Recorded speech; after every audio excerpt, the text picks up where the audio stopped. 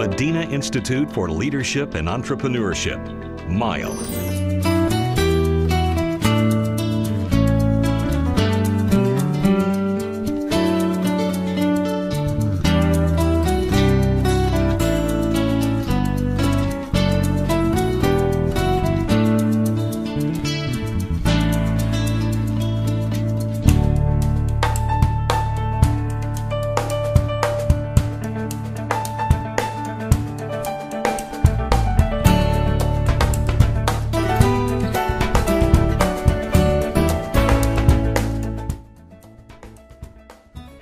The first of the four important things that they did was to act with speed. Because when there's an opportunity and there's a gap within the marketplace or when something new presents, so often it's the first to move that will hold that position of leadership.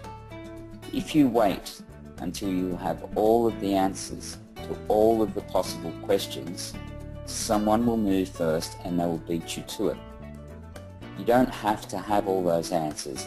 And when you're working in these environments, it's, you don't even know what the questions are going to be, let alone having the answers. But to take action, to move decisively, will put you into that position of leadership. And if you do a good job, you will hold that position of leadership.